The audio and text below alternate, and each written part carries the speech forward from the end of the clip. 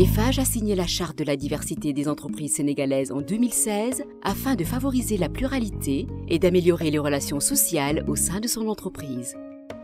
EFAGE n'hésite pas à confier à des femmes des postes au sein des chantiers autrefois considérés comme des métiers masculins. À l'occasion de la journée de la diversité, nous avons recueilli leurs témoignages. J'ai débuté en 1993. J'ai été embauché par le PDG actuel. Ça fait 25 ans que je suis dans l'équipe de chantier des FA Sénégal. Tout au début, je n'étais pas bien accueilli. C'est normal, ils n'ont pas l'habitude de voir une femme sur un chantier qui donne des ordres.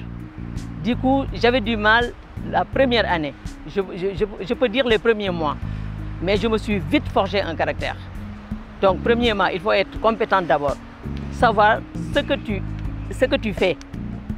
Parce que les ouvriers, ils te tendent des pièges, tout ça pour, savoir, pour, pour, pour euh, essayer de tester tes connaissances si vous êtes compétent, vous forgez un caractère, je ne je dirais pas un caractère d'homme, mais un caractère de manager, excusez-moi, euh, ça ne doit pas poser de problème.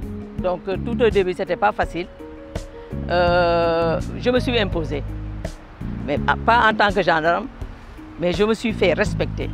Et j'avoue qu'aujourd'hui, que ce soit sur les chantiers, que ce soit au niveau de notre direction générale, je suis respecté.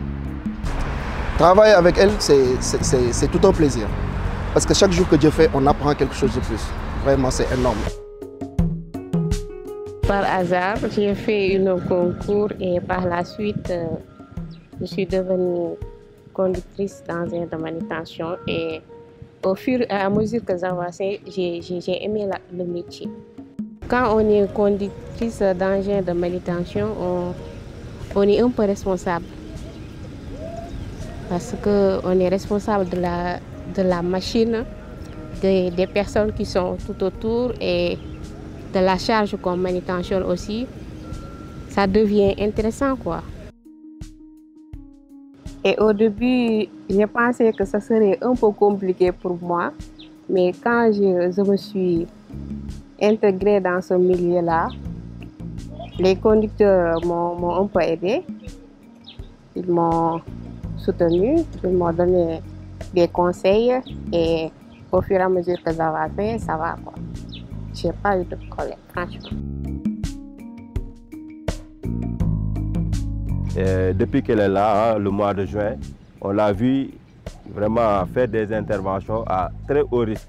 Mais à ce jour, euh, aucun incident ou aucun incident, que ce soit majeur ou mineur, ne, ne, ne, lui a été imputé. Et ça aussi, je crois que c'est un élément de satisfaction à son endroit.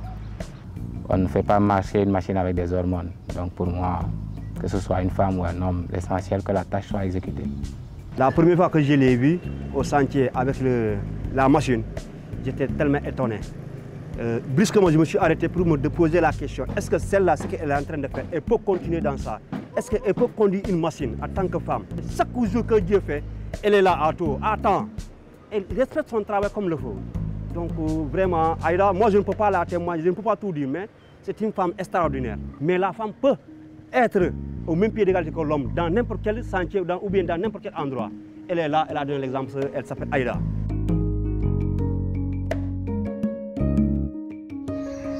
la mécanique, euh, c'est ma passion. Je peux dire que c'est ma passion. Parce que depuis tout petit, j'aimais bricoler, faire des petites réparations. J'étais un peu têtue sur les clés. Après mon bac, j'ai dit à mon père que je voulais faire la mécanique. Je ne vais pas aller à l'université. Je veux faire la formation de la mécanique. Et il a accepté, il m'a suivi sur mon chemin, il m'a épaulé. Je conseillerais aux femmes qui ont envie de faire la mécanique de venir voir le métier et s'y exercer parce que c'est un métier noble.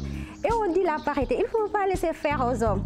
Il faut leur dire que nous aussi, on peut faire la mécanique.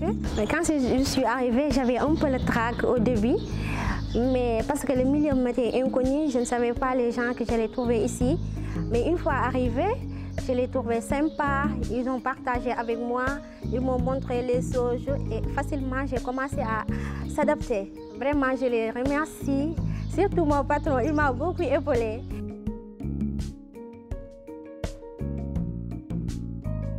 Elle a commencé aussi à intégrer euh, dans l'équipe et même commencer à faire les rapports sur les carnets d'entretien, faire les suivis et tout. Donc ça, c'est une bonne chose. Franchement, euh, ça commence à s'améliorer et euh, commence à mettre dans les rangs. Quoi. Franchement, ça, on a aimé.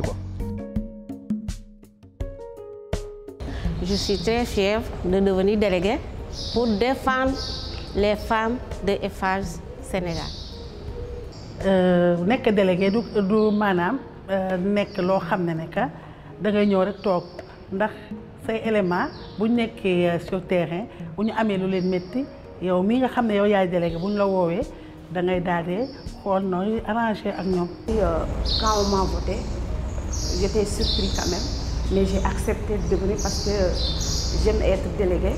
Je suis très pour défendre la cause de mes collègues. Eiffage kay jàppale na jigéen ñi bu baax baax parce que ñun bëriwuñu woon man bi ma fiy ñëw jigéen ñi bëriwuñu woon te macha allah léegi jigéen ñi dañoo bëri.